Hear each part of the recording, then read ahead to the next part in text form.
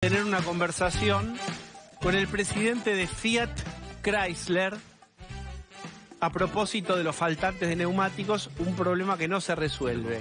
¿Cómo estás? Martín Supi. Hola Martín, ¿cómo estás? Muy bien. ¿Hace mucho sos presidente de Fiat Chrysler? Hace presidente hace un año y algo, más o menos. Después de Cristiano Ratazzi. Exacto. Bien. ¿Qué pensás, en qué punto está la producción de Fiat afectada por lo de los neumáticos? Hoy en día nosotros tenemos todavía algunos días de stock eh, disponibles. Estamos hablando de pocos días, siete, ocho días, como para poder seguir produciendo de manera regular. Eh, bueno, y eso hace que claramente estemos preocupados por la situación, por, esto que está, por este conflicto que tenemos hoy en día con el abastecimiento de neumáticos creyendo, yo soy optimista porque entiendo que la, industria automotriz argentina es una industria muy importante para el país, para la economía, y estoy convencido de que, de que esto se tiene que solucionar en el corto plazo porque claramente hay una cadena de valor muy importante desde proveedores, terminales automotrices y concesionarios que están esperando una solución en este sentido. Y en ese lugar, hoy en día, bueno, el, gobierno está interviniendo, eh, me parece a mí, de manera positiva. Es bueno que pueda intervenir como para poder resolver este, este punto. Por eso soy bastante optimista y positivo en creer que lo vamos a resolver en el corto plazo. Esa propuesta de puedo abrir la importación de neumáticos, ¿qué te parece a vos? Yo siempre digo que, nosotros tenemos que defender claramente la producción local. No tengo ninguna duda que eh, esto surgió en una reunión de ayer con, con Sergio Massa, con el ministro, y no tengo ninguna duda de que él lo piensa igual. La producción local es lo importante en Argentina, poder producir para poder exportar y poder tener productos locales es lo fundamental. Eh, está claro que frente a una no solución del problema y el conflicto que tenemos hoy en día con los neumáticos, el hecho de poder importar sería un plan B y una, y una segunda solución. Sin ninguna duda, eh, como terminal automotriz frente a la necesidad de producción, yo apuesto a tener por lo menos una, una solución, un plan B. Eh, me parece que claramente lo lógico, y todos estamos alineados en este sentido, ADEFA, los sindicatos, el gobierno, en entender que lo, que lo ideal claramente es solucionar el problema sindical que hoy en día tiene el sindicato de los neumáticos con la producción local. Pero bueno, si la solución por no tener este, resolución del conflicto es importar neumáticos, eh, yo estoy de acuerdo con eso por el hecho de que necesitamos no parar nuestra producción. ¿Estarías de acuerdo con eso eventualmente? Eh, eh, teniendo en cuenta la economía argentina, las restricciones y las necesidades de divisas, creo que no es la mejor solución, pero es la única. Si no se encuentra una solución al conflicto del neumático, me parece a mí que la segunda gran solución es poder importar para no parar la rueda de la producción y posteriormente la exportación de los productos nuestros. Para tener una idea de, las cubiertas que dan vuelta en todos los autos más o menos que conocemos, ¿cuánto importado y cuánto es de fabricación nacional?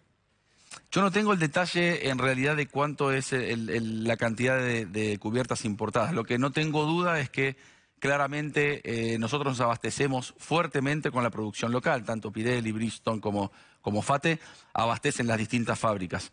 De ahí que eh, por eso hablamos siempre del sostenimiento de la producción local y de lo que tiene que ver con la integración local. El hecho de comprar una cubierta nacional dentro de lo que es la producción local eh, incrementa todavía más la integración local del vehículo. En particular en Fiat con el Cronos tenemos el 48% de integración local. Es el producto que mayor integración local tiene en el país. Quiere decir que prácticamente la mitad de nuestro auto está producido con piezas de producción local y de proveedores argentinos. Por eso siempre defendemos lo que tiene que ver con la producción local, defendemos lo que tiene que ver con los cargos logísticos, tener una producción en Argentina claramente resuelve esos problemas y bueno, y, en ese sentido estamos. Pero eh, intentamos poder entender que se resuelva este problema, poder trabajar regularmente la producción y si no tendremos que revisar y buscar alguna otra alternativa que puede ser la importación.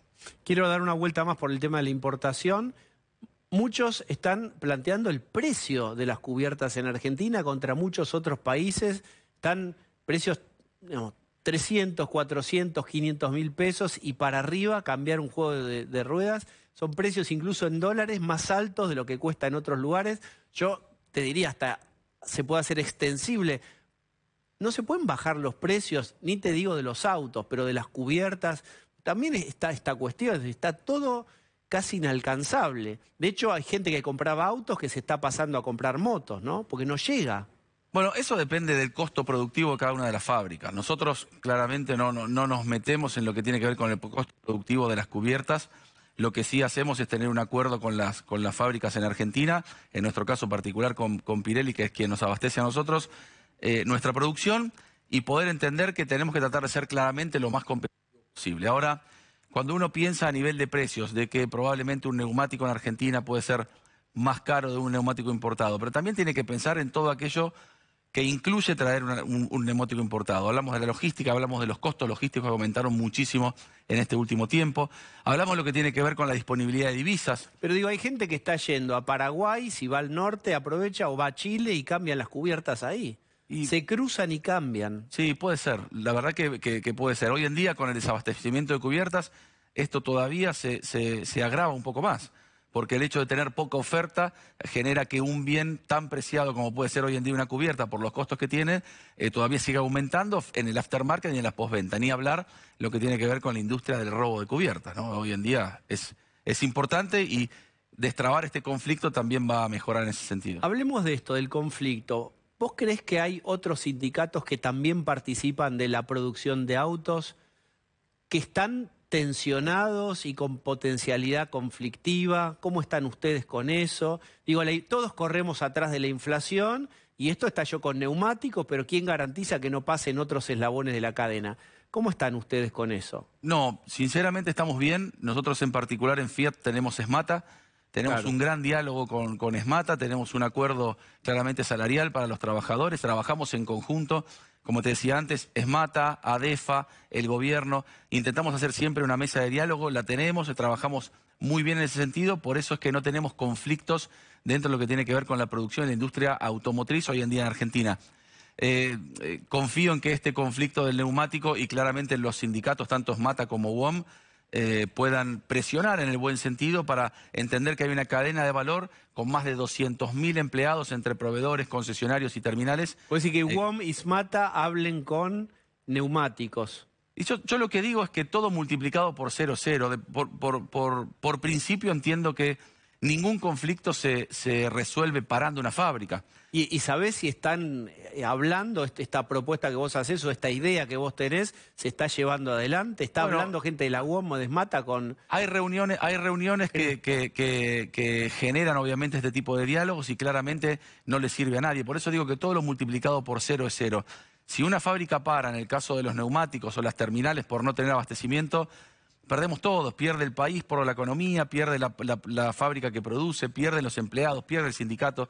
De ahí que entiendo que siendo gente razonable de negocio y que entendemos que la única solución en Argentina es producir y exportar para poder mejorar nuestra economía, eh, entiendo que tenemos que tratar de destrabar esto. Y no tengo ninguna duda que en el caso de Smata y UOM lo piensan igual y seguramente ellos estarán conversando también como para poder destrabar este problema y poder trabajar tranquilamente en Argentina versiones de si no se arreglan tal planta dejaría a la Argentina. ¿Es creíble ese tipo de, versiones que dan vueltas? ¿Se pueden levantar e irse tal o cual fabricante de neumáticos? ¿Qué te parece con la experiencia del sector? Mira, yo te diría que cuando uno habla de, de, empresas multinacionales, las empresas multinacionales, puede ser de neumáticos o mismo de autos, pueden producir los productos que producen en Argentina en cualquier otro país de la región esa es una realidad. Ahora, en particular, yo no creo que esto suceda. Hemos tenido muchas dificultades en Argentina. Argentina es un país económicamente complejo, esto es histórico, no es de ahora. Em, y hemos pasado muchísimas tormentas juntos como para entender que hoy en día la producción de autos en Argentina viene creciendo desde el 2020, 2021, 2022. Venimos aumentando la exportación, venimos trabajando muy bien en ese sentido, por eso te digo con ADEFA, con gobierno y con los sindicatos. Y me parece a mí que es muy complejo pensar que una fábrica puede levantar campamento y se puede ir a, otro lugar en la región, porque la operación en Argentina es una operación que es importante, que es rentable y que claramente genera distintas, distintos valores dentro de esta cadena de valor. Argentina es uno de los pocos países en el mundo, hay menos de 30 países que producen autos y claramente todo lo que son los insumos para, esta producción son importantes, por ende defender la producción local es importante y no creo que hoy en día ninguna empresa esté pensando en, poder dejar la Argentina por, por un conflicto así. No Martín, muchísimas gracias por haber venido. Gracias, digo, un placer. Vamos a